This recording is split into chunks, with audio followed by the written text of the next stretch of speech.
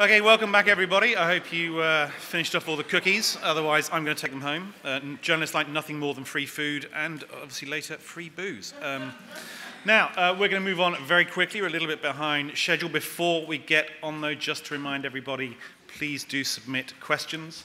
All the details of how to do it up there. In fact, as I saw from the app as we were doing our polls, I think you can also just push the button next to it and submit questions that way.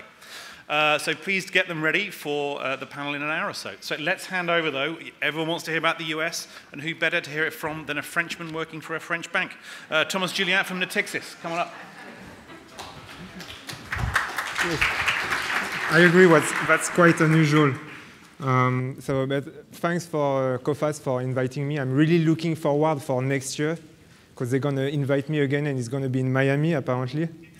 so this is going to be great. Um, the, the question we all ask ourselves, I think, in, consciously or unconsciously, is where are we in the cycle in the US? That's what I want to talk about today. So the, the presentation will be divided into three parts. First, we're going to see what are the prospects, economic prospects for this year uh, in terms of growth forecasts, the primary, what will be the primary drivers of growth, maybe talk a bit about what will be the impact of, uh, of the tax changes, and, uh, and then also a word on the risk. And then, but the, the core of the pre presentation will be really about finding out where are we in the cycle, uh, are we at full employment, and what are the consequences, and also when could be the next recession. And the last part is going to be about inflation. Why are, aren't we seeing more inflation today, and, and what the Fed will do? Because I think if I listen to the previous participation, participant, um, the Fed tightening cycle was mentioned as a risk for either for the global outlook or for the rest of the world. Um, so this is just a slide. I have a lot of slides, so I'm going to skip some. Um, starting with this, I think uh, Julien already showed this slide with the, the word. This, I like to look at the ISM manufacturing. It's a survey, it's a business survey that we have in the US. It tells you it has very few predicting power, but it's, it's a good indicator of where we are now. And if you look at the level of, uh, of the ISM, so I combine the ISM manufacturing and non-manufacturing, and it tells you that uh, where real growth is in the US and should be close to 3%, so it's a good indicator. Even though you had a slight decline in, uh, in business surveys recently, it still tells you that the growth environment is good.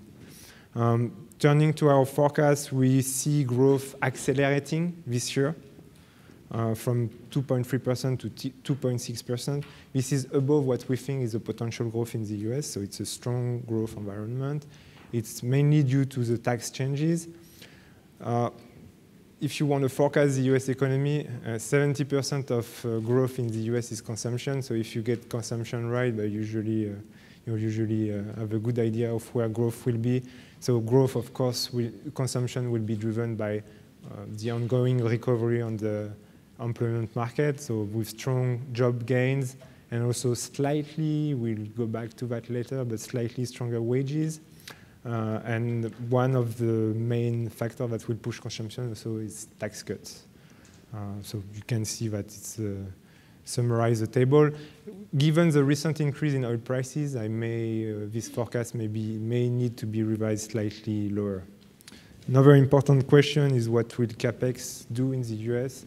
Um, so the, I'm saying that because we have someone from Banque de France here. They just released a paper saying that if you are an honest economist, you need to look at the share of investment, you need to look at the net share of investment and not the real investment rate like I did uh, here, you need to take out uh, depreciation um, if you want to be honest. So this chart is just showing you the share of investment into GDP in the US. The net share is slightly lower, but it's still very high now. So it's just to tell you that um, can capex grow further? It's a good question, and it's uh, it's already very high in the US. So the survey on the right is telling you what, uh, it's a survey made by the Fed of Atlanta, I think, and we're asking companies what they will do with the tax cuts.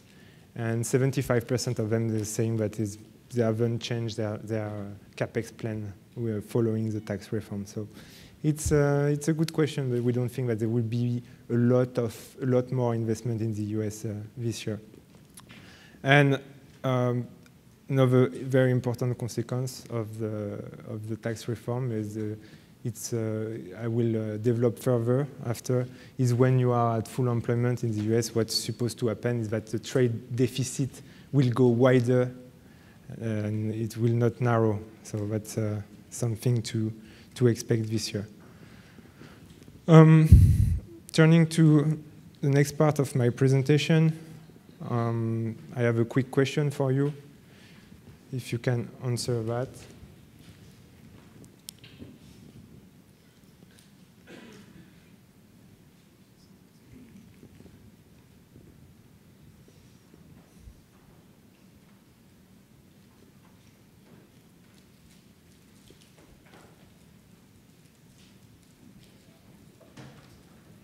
I yeah, 50 is, uh, so 70%, two-thirds of, of, you think that uh, we are not at full employment, which is not my view, so I will try to convince you. uh, so when you think about the US economy, uh, you can see that now we have closed the output gap. I think you, you've shown the same thing on your chart.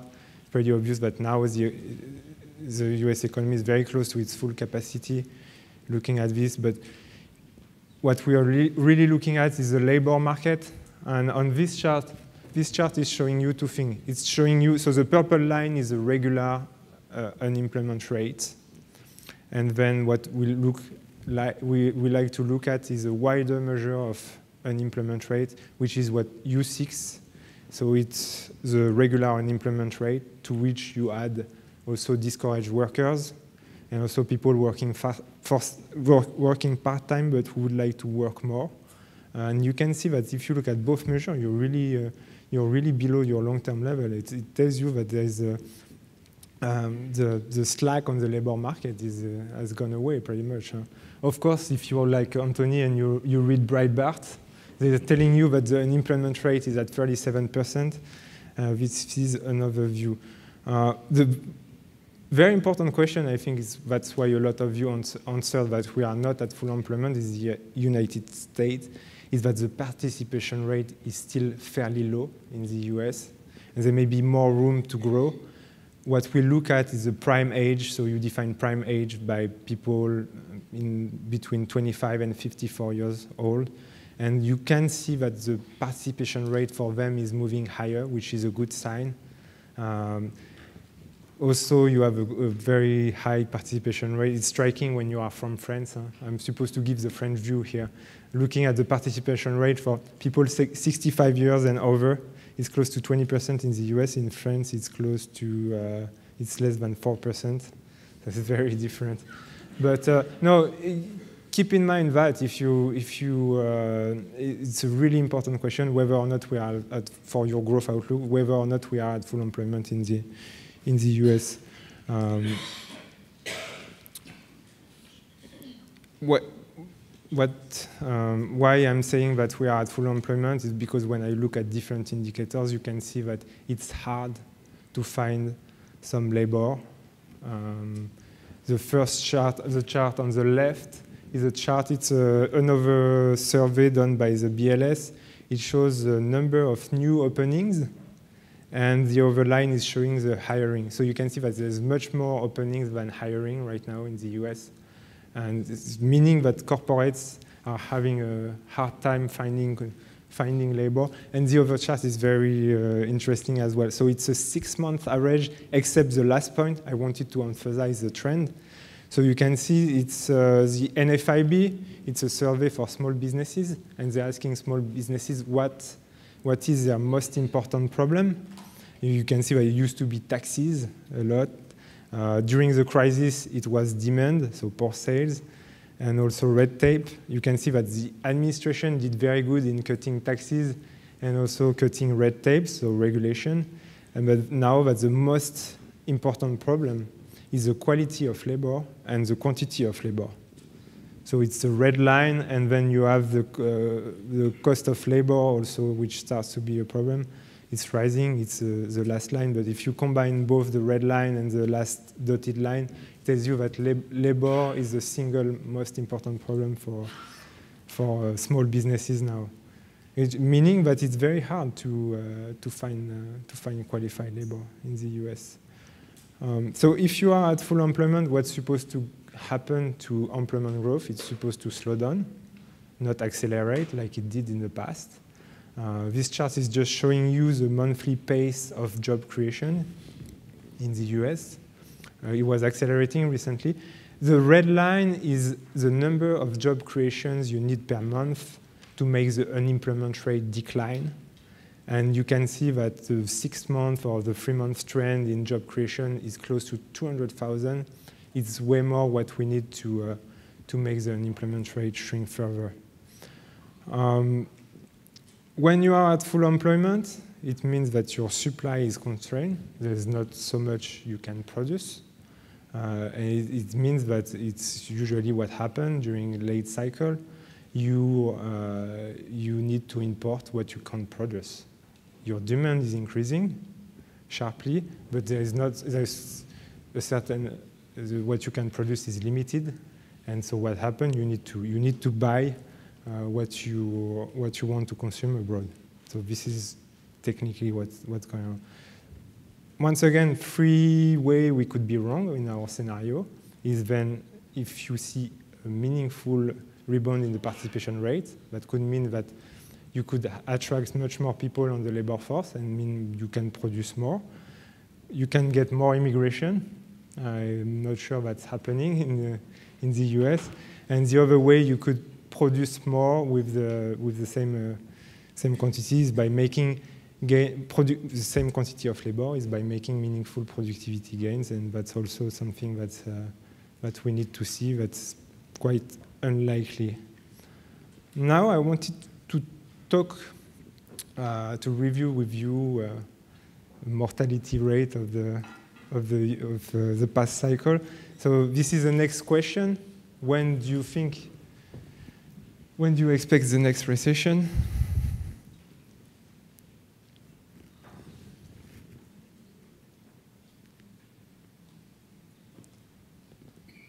It's funny because this morning the Wall Street Journal did the exact same, uh, asked the exact same question. So I'm going to tell you how you compare with the average uh, Wall Street Journal uh, correspondent. Uh, so the, basically it's consistent with the Wall Street Journal. 60% uh, of the correspondents say they were expecting the next recession in 2020. And so you're actually more optimistic than the, than the average Wall Street Journal uh, reader. Um, what you see this year and next year is consistent with what we think. You look at pretty much all the probability of recession should be close to 10 to 15% that you usually see. Um, the question when we see clients and we're asking when will be the end of the, of the cycle, because it's been a very long cycle in the US. It's not the longest on record. The longest on record was 10 years, I think. Now we are getting close to nine years. So you're saying that on average, a cycle in the US is five to six years. So we, we, we are way past this point.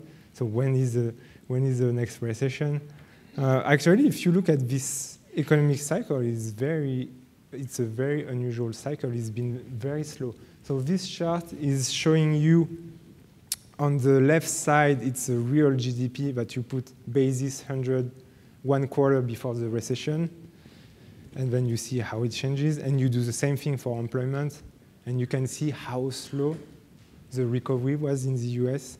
It's probably one of the reasons why this, this cycle is so stretched out. Uh, now, if you want to see a recession in the US, you need to look at uh, what, what could cause uh, a recession uh, in the near term. What I like to look at is imbalances, how leverage has evolved in the past few years. And you can see that if you look at households, it's still going down or stabilizing. The real, uh, I think, where you see some kind of leverage is on the federal government side And maybe we'll see that later. You don't see that much here on this chart, but uh, non-financial corporates also have re-leveraged quite a bit. So speaking about household, we are not that worried about leverage from the household uh, sector. Uh, you look at household debt in nominal, it's very elevated today, but what you need to look at is uh, the share of uh, debt compared to the disposable income, and then if you do that, you can see that it's, uh, it's gone down a lot. Um, you, especially for mortgages, which is the biggest, uh, biggest share for uh, mortgage debt, it's still, uh, that's the purple line on the chart on the left, it's still very low.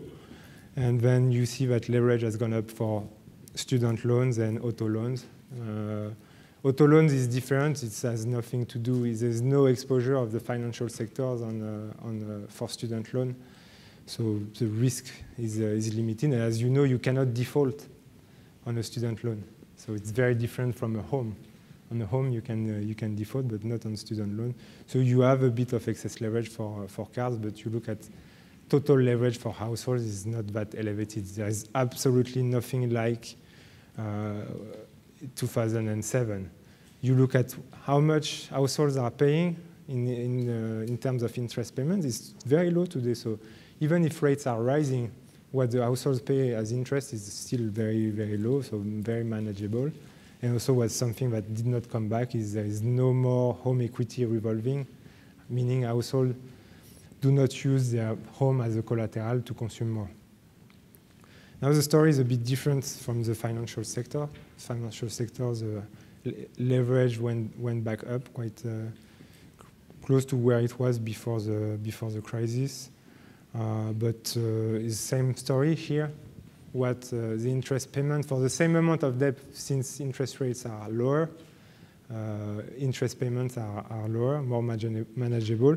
Financial conditions, even though the Fed is tightening, still quite accommodative. It's not going up dramatically.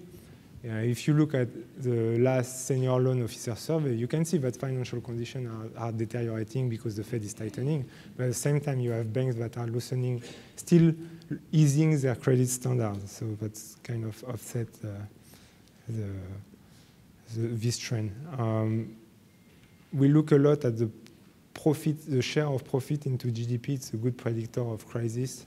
If you make a model, if you want to forecast a recession, and you can see that it's, it's pretty much stable. It's, if you think about it, it's a, very, it's a very unusual cycle. You are at a point in the recovery at which labor is getting more expensive for your corporates. The cost of debt also is getting more expensive. So what's supposed to, uh, to happen is that you get tighter margin unless you can increase your consumer prices, which is not happening. But at the same time, you have the, a massive fiscal stimulus with a cut in taxes, which means that this is going to offset the rise in the, in the cost of labor and the cost of, uh, the cost of taxes. Um, looking at the risk, I think you, Julien mentioned that also the there's no, no bankruptcies in the US. Huh? It's, uh, the default rate is very low. So once again, it's a very, very unusual cycle in which, uh, in which you, are, uh, the, you stimulate the economy at full employment and you can keep alive your, your companies. Um, this chart is just, I wanted to talk about the death of Schumpeter. I will not talk too, too much about that. It relates to the zombie, uh, zombie firm um, story that Julien mentioned. Um, when you, um, you, have, you have a lot of productivity gains in, uh, in, in, the US, but uh, what's going on is that the firms that are the least productive are not dying. That's technically what happened, is because in part with, because monetary policy is very loose and also uh, because you have a stimulative uh, fiscal uh, tax cuts. Uh, just so we basically think that the risk of recession today is very uh, is very low. Um, in this chart, I wanted to compare what an average post-World War II recession looks like compared to the last financial crisis. Uh, you can see that it's very, very different. So the last financial crisis was probably uh, was probably the kind of crisis that you see once in a century, and uh, and the next recession will probably look a lot different from uh, from what we had in in 2007. Now I wanted to turn to inflation by asking you this question.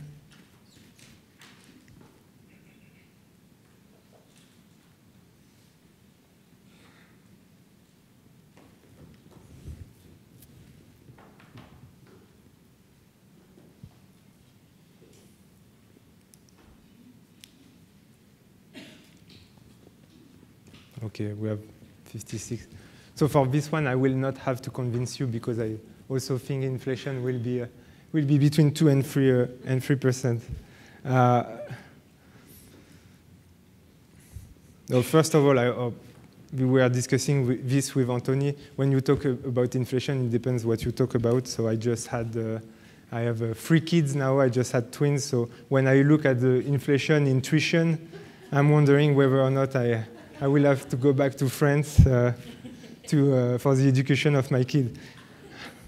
Uh, but here is the puzzle.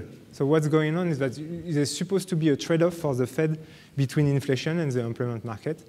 Um, that's basically when the unemployment rate is going down, you're supposed to see more pressure on prices coming from, uh, from wages mostly, because wages are the determinant of the trend in inflation. And you don't see that today. So I, I here is a list of what could be some explanation for why inflation isn't, isn't higher today.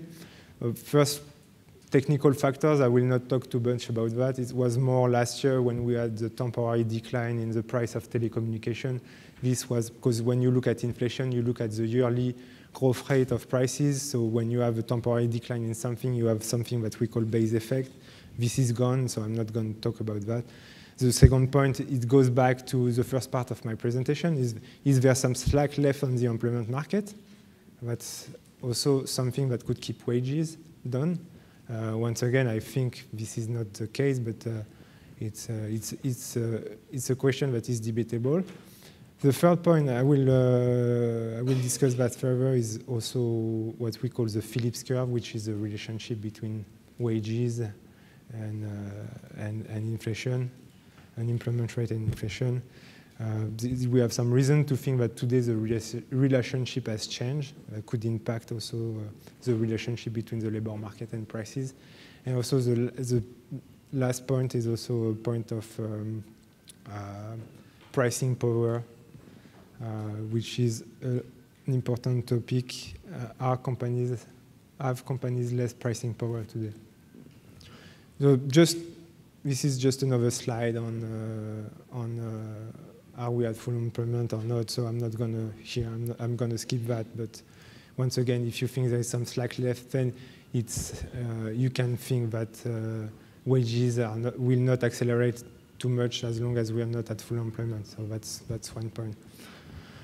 Um, here, this chart is just showing the evolution of the relationship between core inflation and the unemployment rate. So you can see that in the past, you have an inverse relationship. When the unemployment rate is low, uh, core inflation is higher. Uh, where you can see how this relationship has changed over time. It's now pretty much flat, meaning that for the same decline in the unemployment rate, you get much less increase in consumer prices. So why is that? Factor that could explain that. So I will come first with the French answers. Is because you have no unions now, you have no strike in the US, so this is a union membership. You know, Julien almost missed his plane because there was a strike in France. Uh, so the union membership rate has declined, meaning that the bargaining power of, uh, of uh, employees has also declined. Uh, another story could be that you have more robots in the US, so it makes your bargaining power less, uh, less important. And also you have this uh, outsourcing story, the polarization of the labor market. A very compelling story to explain why wages are not reacting much to the decline in the unemployment rate is that when you look at wages, usually you look at the average of wages. And what's going on in the US is that you have a polarization of the lab labor market. You replace middle class workers that are retiring by either very low skilled jobs, a lot of low skilled jobs, or very high skilled jobs. And on average, if you, of course, if you replace middle class jobs by low skilled jobs, such as in resta restaurants, uh, truck drivers, uh, it pulls down the average of wages. It artificially makes the average of, of wages lower. So that's, for me, a very compelling story. Um, another reason why we don't have higher wages in the US is because you don't have a lot of productivity gain. There's usually a, a positive relationship between both. And also, that's my now turning to my uh, first set of explanation, explanation, is that the link between, uh, even though you have higher wages or higher uh, higher costs right now for corporates, it's harder for businesses to, uh, to increase their consumer prices. For me, it's very impressive. You see, for example, the cost, the import prices, they've gone up quite sharply, but there's a disconnect between import prices and consumer prices. Thinking about Walmart also and the competition between Amazon and Walmart in the retail industry, it's very hard to increase. Now it's much harder to increase the consumer uh, consumer prices. So the pricing power of the um, pricing power of uh, corporates, of uh, producers has declined. There's been a transfer of pricing power from the producers to the retailers. And that could be a reason why the price of goods is still declining. When you think about in inflation, split it in two parts. The first part, you need to look at, I'm talking about core inflation here, because, okay, split it in three parts. You have energy prices, that's the volatility. Of course, if you, you see a, a continued increase in energy prices, then this is pull inflation. This will pull inflation upward. Uh, we don't think there is a lot of upside on oil prices, so I would, I would disagree with you here as well on the question you ask, uh, because most of the people say that uh, oil prices will keep increasing further. I think there's a huge political premium in there, but if you look at fundamentals, there should be a bit lower oil prices. Um, we know also there is a, the willingness from the Saudis to have slightly higher prices, some, something between uh, 70 to 80 dollars, but uh, but we don't think like we are at 77 dollars for the Brent, and it's pretty high already. So there will be an impact from that on, on inflation, but the, what matters really it's the core inflation. And so core inflation is driven by two things. It's driven by the price of goods, which is which depends on global conditions, on the evolution of the FX. And you can see, so that's the chart on the left. Uh, the gray line is the price of core goods. You can see that it's still declining, even though import prices have rebounded. And on the right, you can see that this is the price of services that, is, that depends on domestic conditions and is pretty much driven by wages. So since wage growth is not accelerating further, is not accelerating a lot in the US, it means that the price of, of, price, of services is not going up very, very fast. Um, consistent with what you with your answer. It means that um, uh, inflation will be higher this year, probably somewhere between two and three percent. So for the Fed, it really means that inflation is higher, but inflation will not accelerate sharply. It will not get out of hand. So if you are a central banker, this is just the perfect world for you. You have inflation close to target, not a lot of inflationary pressure, strong growth environment. So what you do, you do uh, just what you've been doing for the past year. You keep tightening at a very gradual pace. And this is basically what the Fed is telling you, is that uh, we are looking at three, four hikes per year. On average, a tightening cycle in the past, I'm talking about that, but I was, I was a teenager in the last uh, tightening cycle. A, a, typical tightening cycle in the US is 200 basis points per year. Here we're talking about 75 basis points per year of increase in rate. So it's a very modest uh, tightening cycle. Um, and the Fed is, uh, is on, on track to keep doing that. There's very, um, it's funny because in, since 2010, monetary policy used to be the only game in town, and now we've, shift, we shifted uh, uncertainty from monetary policy to maybe fiscal policy or trade policy, and, uh, and uh, there's very little uncertainty in my mind on what the Fed will be doing for the rest of the year. We may have two or three more hikes, uh, and with the continuation of the gradual normalization of the balance sheet.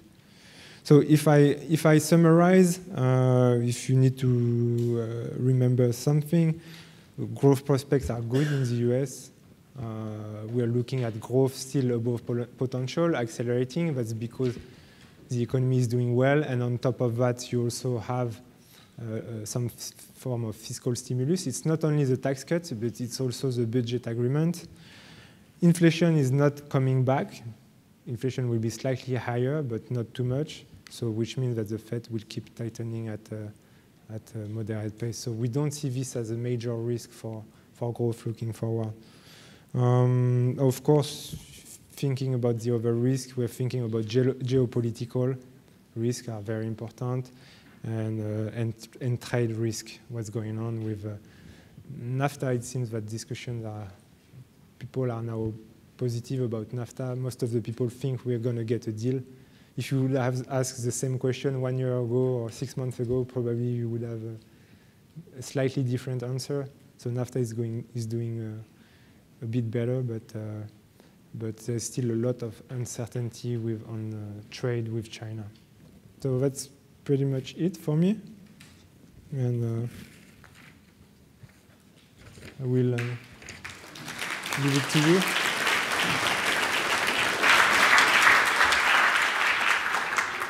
Thank you, Thomas. I'm just going to um, make a couple of points. Firstly, I'm going to make a prediction here that within 15 years, don't worry, Thomas, within 15 years, the um, education system in this country will change radically for the better for parents. That just happens to coincide with my, when my firstborn will be going to college, I hope. So maybe it's more of a full-on hope, but we shall see. Um, a couple of other things. Um, actually, I think you'd all agree that the most important part of the presentation was the fantastic use of Datastream data, which is a great Thomson Reuters product. My masters will be pleased.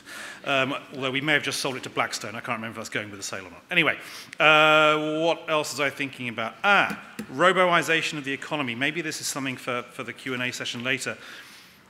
But how, I wonder how that fits in with edu education more broadly, actually, because we were looking at this a bit last year, and uh, one of my colleagues made the point, she admitted it was a bit of an old point, but the senator from the, from the state uh, says it's still the same, but back in the 80s, uh, government programs to retrain people was not, were not very good. For example, women who lost their factory jobs were retrained as hairdressers, which is really useful when you've got a nothing but hairdressers in a, in a town.